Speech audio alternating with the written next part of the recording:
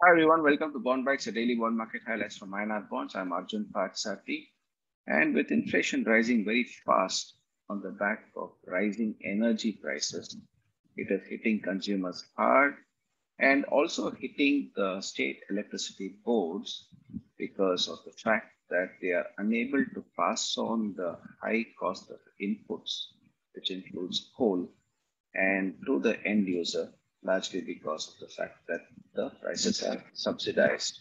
And with state governments now finding it difficult for, on the financial front, they have been borrowing heavily, and uh, and uh, this year they will be borrowing record amounts of money along with the central government. Bond yields have also risen very sharply. Recent yields at, uh, have, are at 7.15%, having come down from 7.5, 7.25% in the last five days, but it's still at a couple of years' highs and is likely to go higher as inflation shoots up. And uh, the whole the, the the back part of it is that uh, given that state electricity boards are perennially making losses, and this energy crisis is furthering the losses, then uh, the they, uh, their borrowing uh, it gets to be difficult. And uh, many of the state, state electricity boards have issued bonds uh, which have been invested by provident funds and even retail investors uh, looking at the higher yields. And these bonds have largely been guaranteed by the state government. UPPCL, that UP Power Corporation, had issued rupees 5,000 crores of bonds in March and guaranteed by the UP state. And all these uh, bonds, if, if the state government finances are constrained, and many state governments are now clamoring that they they don't have money. And then uh, how will they service these bonds? So in that sense, the riskiness of these bonds rise. And when riskiness of these bonds rise, along with interest rates also going up, then the yields on the bonds can also rise. So investors have to be careful what are the structures, which uh, what are the finances of the state, how can uh, are they strong enough to support all their guarantees? And if these state government uh, entities are making further losses because of high input prices, which is not being passed on to the end consumer, then it would be a bigger problem.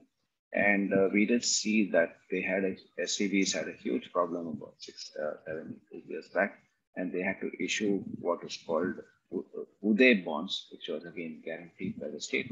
But here the RBI supported the borrowing uh, through a structure where they were equivalent to state development loan, which is uh, again supported by the RBI and the central government. So this seems to be developing a fresh uh, energy crisis, and the best place to come to look at the further developments on this, where the bond yields are trading, etc., is INR bonds. In fact, we are having our uh, webinar on um, Saturday, the 23rd of April, to actually uh, talk to financial advisors and advise them and uh, uh, educate them and provide them the research and information that is required to respond to their investors because one as investors are by finding that the fixed income uh, returns are much lower than inflation, they need alternatives. And while bonds provide the alternatives, they need to look at what bonds to invest in. And the first place they'll go to look at bonds is to the financial advisors.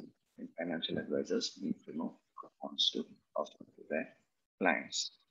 Thank you very much for listening. And in other parts of the, in other areas of the market today, Sensex and Nifty and the INR, know those flat Sensex and Nifty rose, the US Treasury is slightly fell, but still stayed at higher levels.